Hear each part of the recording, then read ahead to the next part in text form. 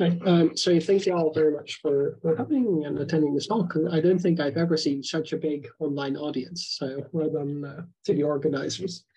Um, yes, so I'll be um, talking about open Gromov-Witten invariants and how you can obtain them from the Fukaya category. Um, and to start with, let me give you some background on like closed Gromov-Witten invariants and homological mirror symmetry. So the the starting point is like as with a lot of things in in symplectic topology comes from mirror symmetry. And for me that will always mean well in this talk that will mean closed Calabi-Yau uh, manifolds. So if we have x some some closed Calabi-Yau with a symplectic form that and that's mirror to some space. Y where we consider y as a complex space with the complex structure j then enumerative mirror symmetry for this pair says that the Gromov-Witten invariants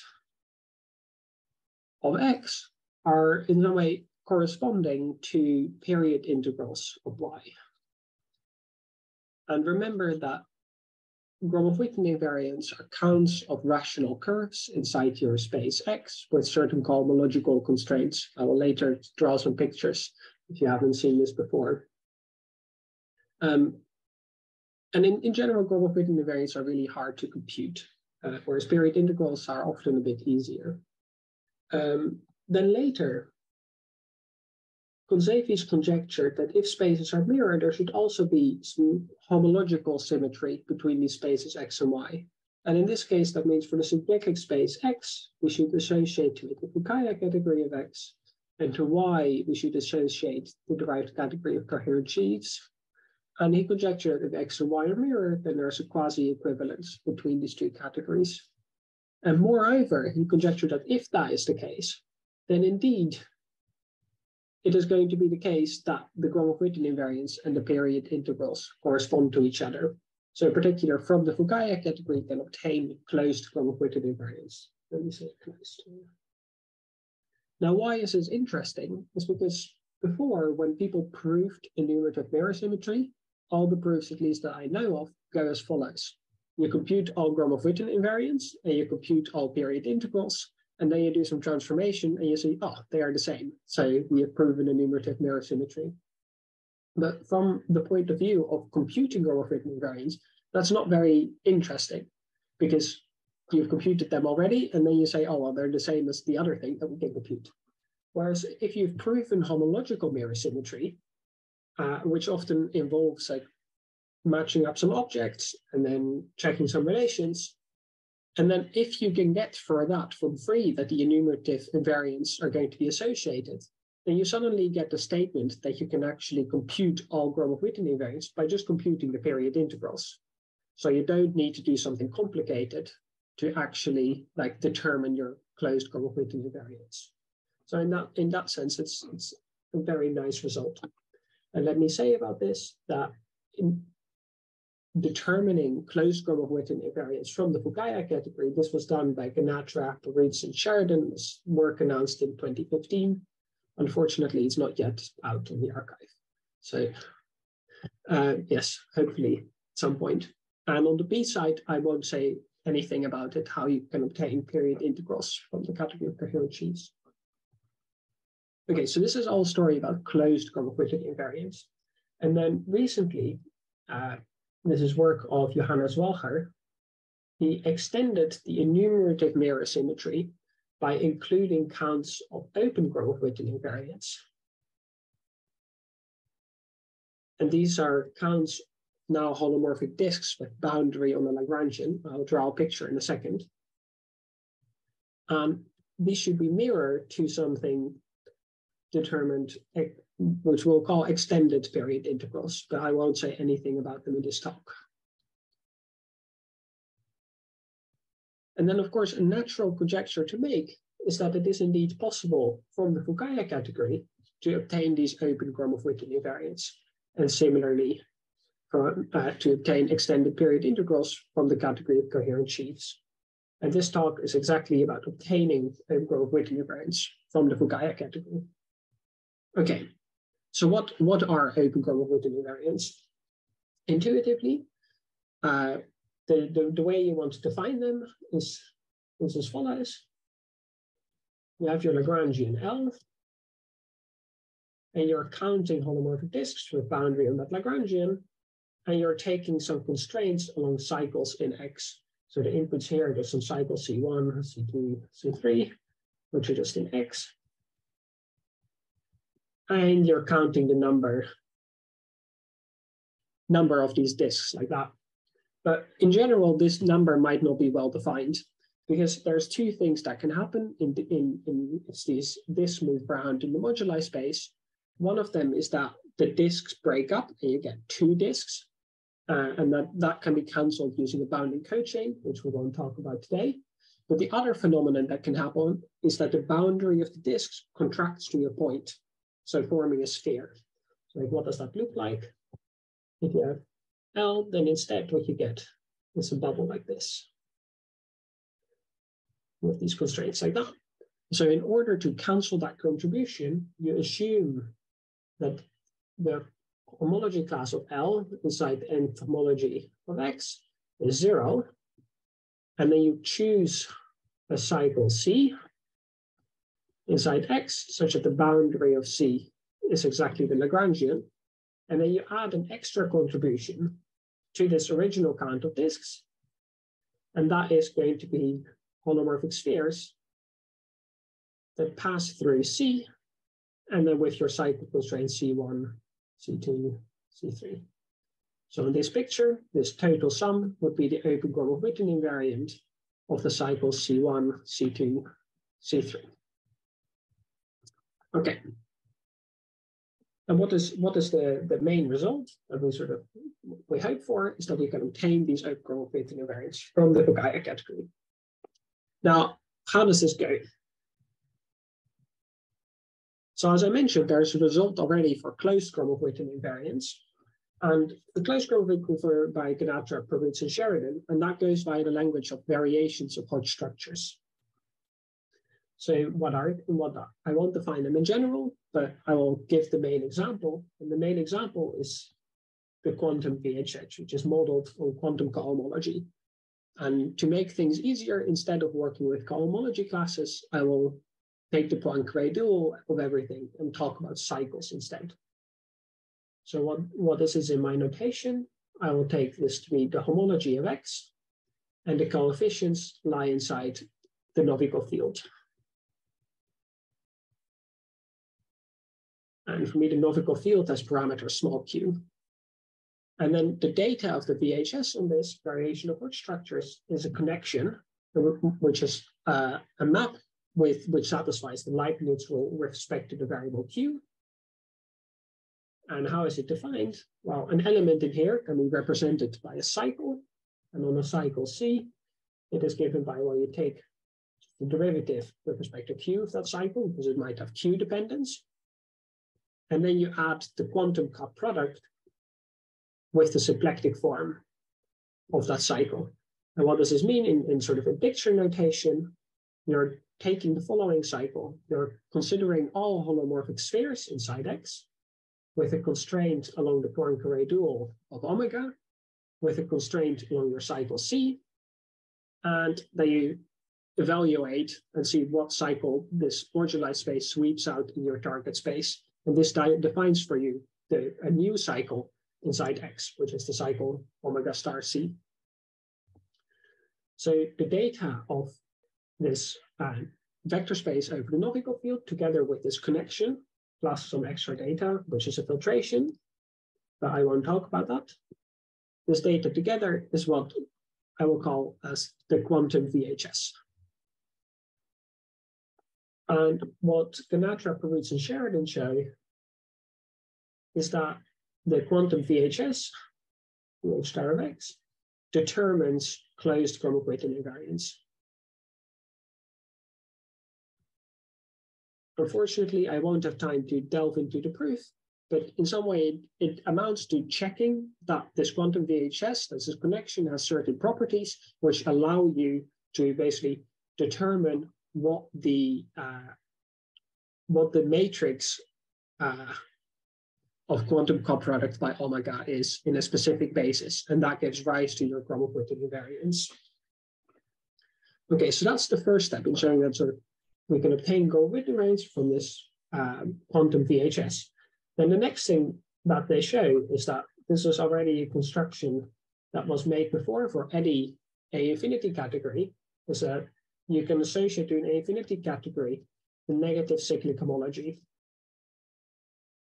and this is a VHS as well. It comes now with a natural variation of Hodge structures.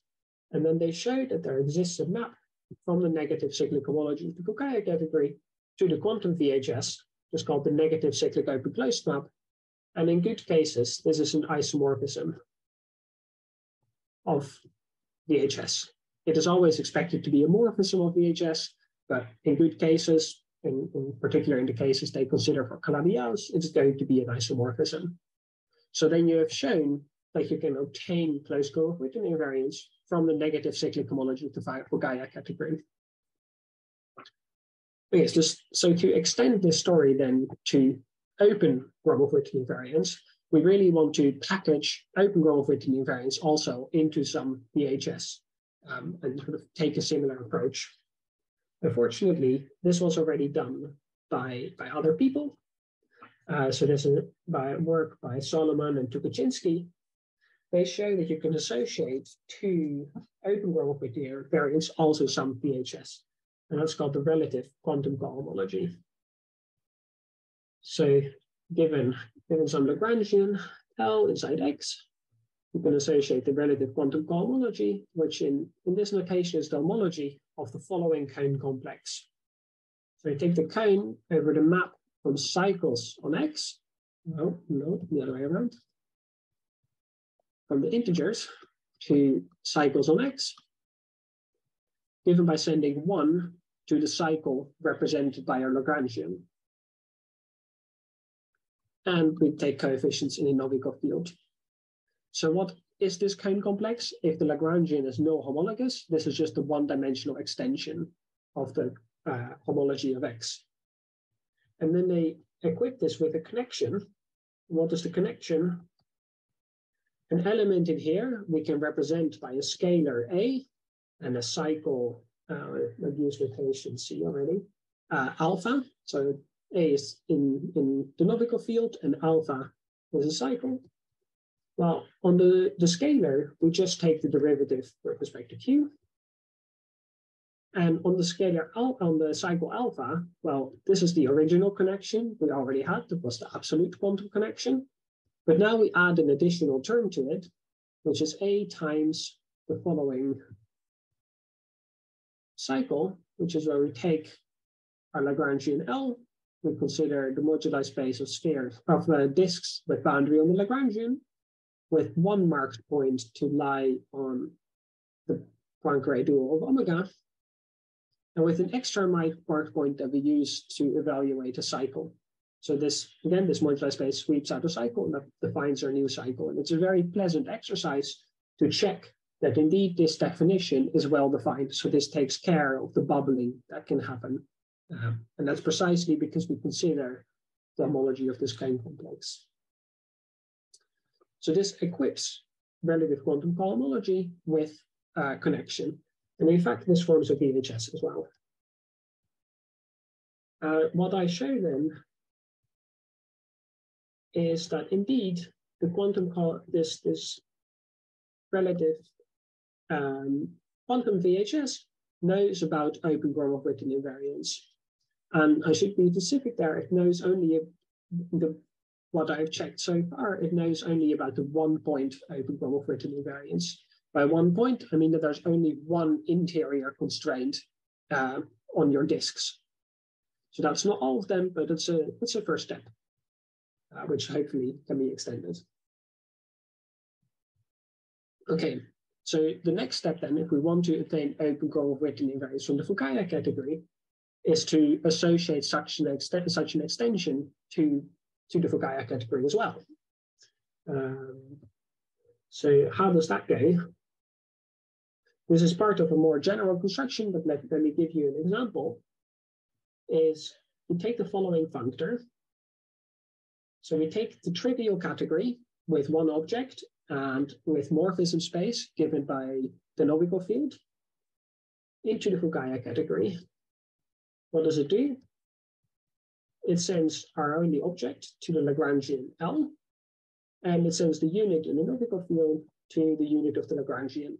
And here I'm implicitly assuming that our Fukaya category is strictly unital, but let's let's assume that we can do that. Um, so we have that functor, and then we consider the induced map on negative cyclic chains. If you haven't never seen this before, don't worry, it will not really come up, crop up in the definition.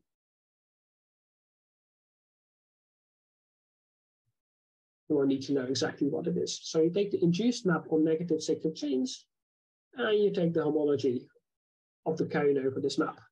So it's a very similar construction to like what we had before. And then what, what I show is that you can equip this with a VHS and it's sort of a natural, natural categorical construction.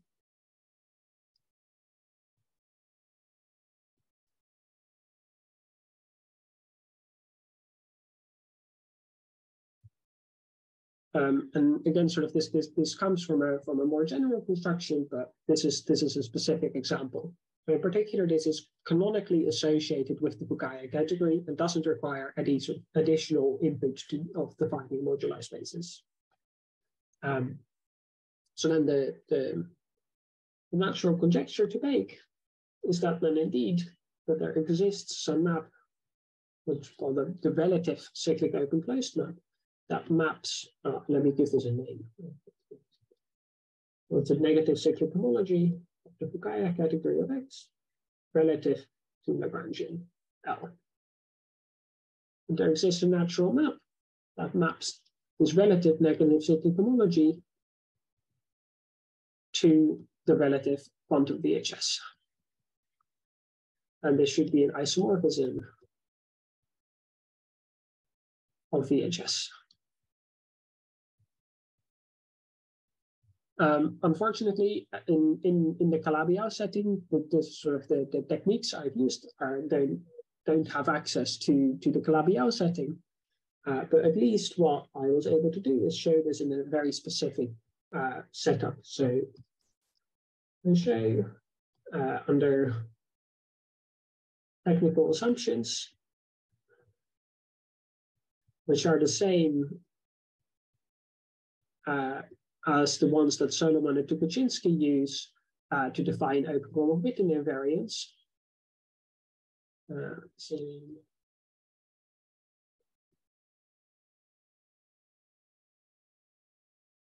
then it, there indeed exists not a full map on the Fukaya category, but a map just on negative cyclic homology of the Floer cohomology of a single Lagrangian and the object is also the Lagrangian, to the relative quantum cohomology. But now, of course, you can't expect this to be an isomorphism of VHS, but this is just a morphism of VHS. Um, yes, but if you assuming if you assume the conjecture, conjecture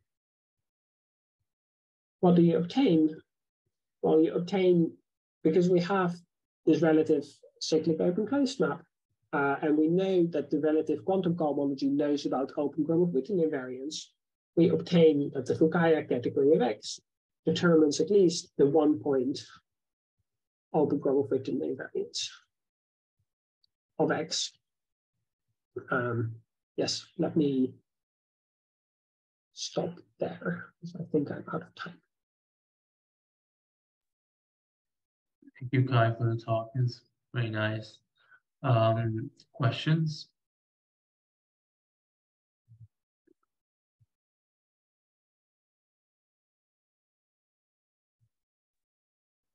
No Can you say again what the uh, what, what what were the technical assumptions? Can you maybe just say it out loud? Yes, I did not. I did not say them uh, at all. So these are these are the same as what uh, Solomon Tukachinsky used, and they are that the moduli spaces of disks with boundary with Lagrangian are smooth orbifolds with corners. Um, that is not a very uh, heavy assumption, but the main one is that the evaluation at the boundary marked point needs to be a proper submersion, and that is a very strict one. Um, but I mean, as as they believe as well, is like if, if you work with fun, virtual fundamental classes, then all, all the problems disappear. But they they chose to work in this setup because it's just nicer and technically easier to understand. Uh, but you still need Calabi-Yau, even even uh, or no, no. So in in in their setup actually is is I think there are no Calabi-Yau examples. Uh, so what, what these can be curved uh, infinity algebras and so on. Yeah, yeah. yeah.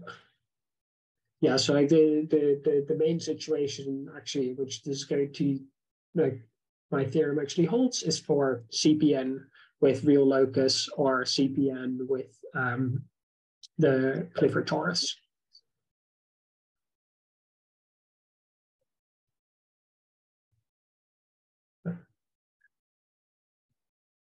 I, I also have, well, I guess I you lost me in this. Uh, so when you state this theorem, you have this uh, bar complex or L in which you say there's a morphism. Um, so what is the relationship between this map and the one that you conjecture should be an isomorphism? So there always exists a map just from like basically the, the, the Floer cohomology of a single Lagrangian you can include inside the whole Fukaya category. Mm -hmm. That's just um, I guess there, yeah, there's just exists a functor. So there's going to be a map from the negative cyclic homology of uh, the Floer cohomology to the negative cyclic homology of the Fukaya category. And that will also induce a map from uh, this whole guy to the negative cyclic homology of the Fukaya relative to your Lagrangian. But there is no sort of guarantee that this map will be an inclusion or yeah. But oh, I mean, similarly, if you if you are in a very hopeful situation where you like you could just take a generating set for your Fukaya category and just take the direct sum of all those Lagrangians. And in some way that is a very valid thing to do. So if you if you would be able to deal with technicalities where it's sort of your Lagrange if your Lagrangians intersect in some way that's not that's not the biggest problem in this setup. Um, so in that sense, you could you could just as well assume that your Fukaya category really only has one object, uh, which is a direct sum of these Lagrangians. So if you had a bunch of generators, you could do that? Yeah, yeah. Okay. Thank you. Any any other questions? Okay, so in that case, we thank the speaker again. Thanks, Kai uh, for the talk. Um,